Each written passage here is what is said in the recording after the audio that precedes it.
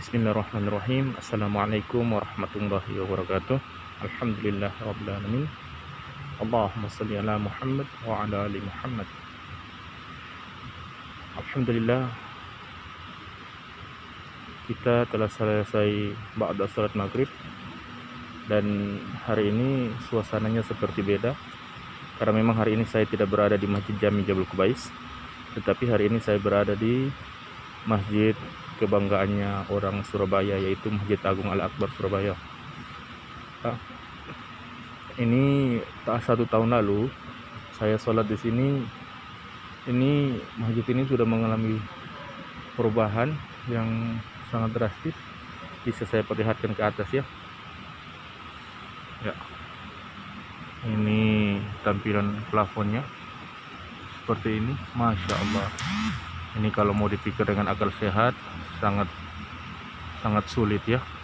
Ini masjid sebesar ini tidak ada tiang penyangganya di tengah ya. Ini seperti ini ya. Masya Allah. Ini lihatnya ngeri tapi indah. Ini sangat besar sekali ya. Masya Allah. Ini nyali orang yang kerjanya ini luar biasa ya. Masjid setinggi ini ini dengan ukiran-ukiran kaligrafinya. Saya coba mereview bagian dalam Masjid Al Akbar karena memang ini suasananya sudah malam. Kalau kita mau liput yang di luarnya emang agak sulit karena emang sudah gelap. Ya ini untuk tampilan depannya atau tampilan mikrobnya. Ya. Iya ini Masya Allah ini ukuran-ukuran kaligrafinya sungguh luar biasa ya. Ya ini tampilan dari dalam Masjid Al-Akbar ya. Ini tampilan mihrabnya. Ini kaligrafi seperti ini yang saya coba adakan di Kepulauan Aruf terkhususnya di masjid kami yaitu Masjid Jami Jabal Kubais. Insya Allah kalau dana kita lebih kita akan berusaha untuk datangkan ukiran-ukiran kaligrafi seperti ini ya. Ukiran-ukiran dinding. Insya Allah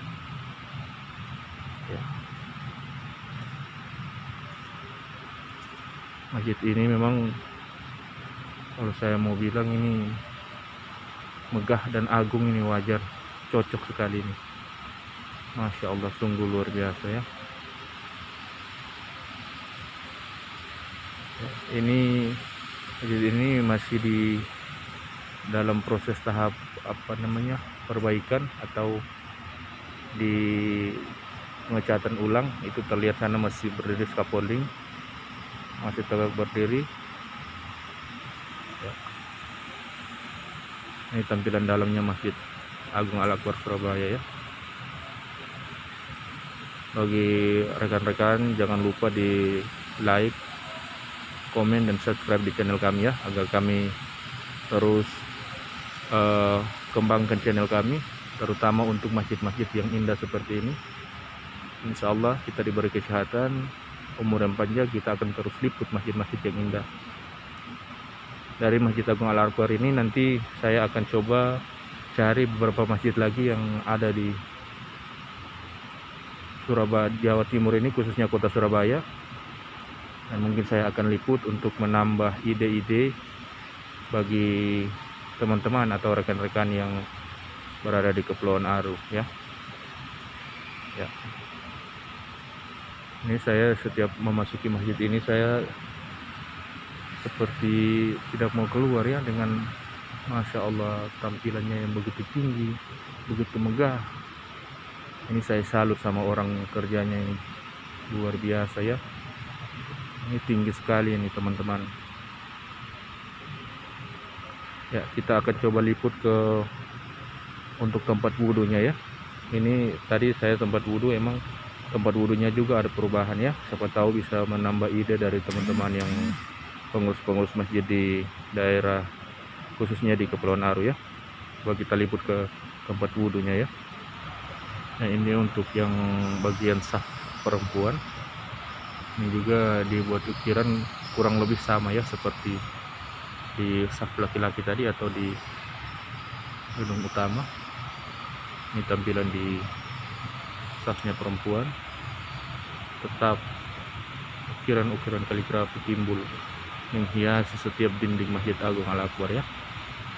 Luar biasa. Ini penyekat antara laki-laki dan perempuan juga saya naksir ini. Penyekatnya sangat bagus sekali ya. Ram besi dibuat ukiran ya. Cantik sekali nih. Coba kita lanjut ke tempat wudhunya ya. ya. Ini untuk tampilan luar taman Masjid Al Akbar ini menaranya juga baru di renovasi.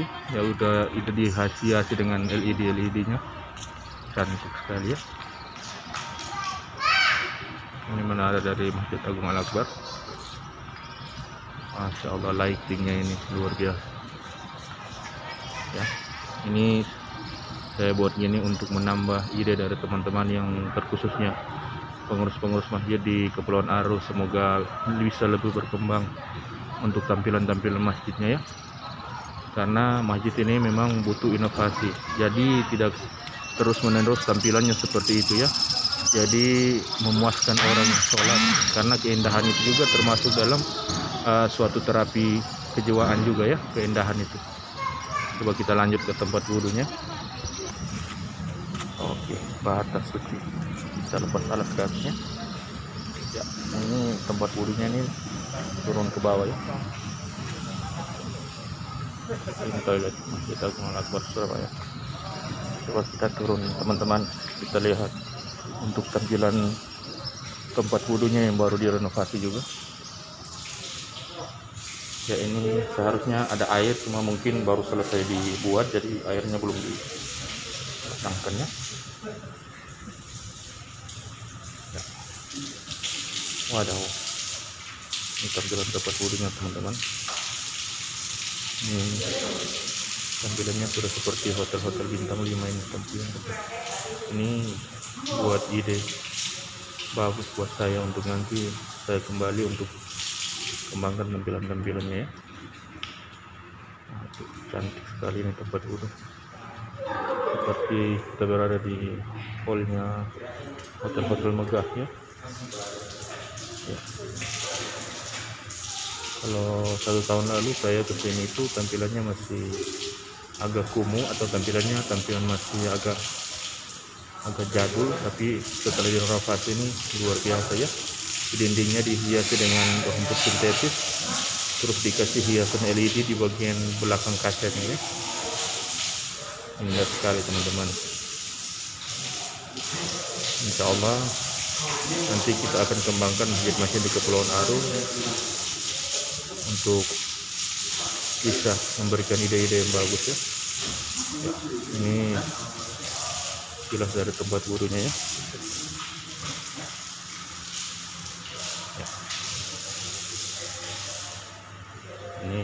masih ada tanda X. Itu masih berkaitan dengan COVID-19 ya. ini teman-teman.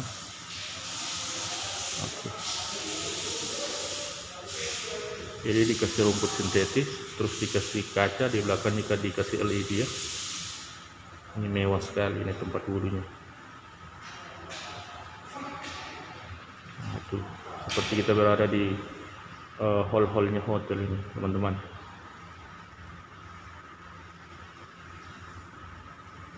Lanjut kita lihat dari tampilan luarnya. Ya baik. Ini untuk tampilan di luarnya. Ya seperti ini ya tampilan di malam hari. Karena memang ini kubahnya ini di atasnya itu belum tertutup semua. Jadi kubahnya ini belum selesai direnovasi teman-teman. Jadi kayaknya kepingannya dicabut ulang di di, di warnanya untuk warna baru terus dipasangkan. Cuman belum selesai. Jadi memang LED untuk kubahnya belum dinyalakan ya. Dengan tampilan luarnya di malam hari ya. Ini tampilan tampilan belakangnya untuk tampilan depannya nanti Insya Allah ada waktu saya akan review di siang hari ya biar terlihat dari tampilan luarnya jelas semua ya ini menaranya menjulang tinggi dengan dihiasi LED nya luar biasa. Jadi itu sekedar review dari saya. Mungkin bisa menambah ide dari teman-teman sekalian untuk bisa berkreasi dalam menghiasi masjid-masjid. Jadi memang rumah Allah itu harus kita jadikan cantik secantik mungkin. Di mana rumah Allah itu ketika dia megah maka itu daya tarik untuk jamaah semakin bersemangat untuk sholat ya. Jadi memang rumah ibadah itu harus diberikan inovasi-inovasi ya. Ini satu tahun lalu saya sholat di sini terus kemudian saya kembali insya Allah sudah banyak perubahan di masjid ini ya. Luar biasa ya. Jadi terus berinovasi ya masjid ini mungkin setiap tahunnya ada perubahan ya. Ini yang patut dicontohi bahwa masjid itu harus di terus diinovasikan. Jadi terus tampilan-tampilannya harus terus diganti agar jamaah itu semakin puas. Artinya keindahan itu menambah uh, perasaan atau hati yang lega untuk datang sholat ke situ. Karena memang keindahan itu juga sebagian dari terapi keimanan ya. Ya sampai di situ teman-teman. Jangan lupa di like share and comment ya. Sampai di situ review dari Masjid Agung Al Akbar terima kasih.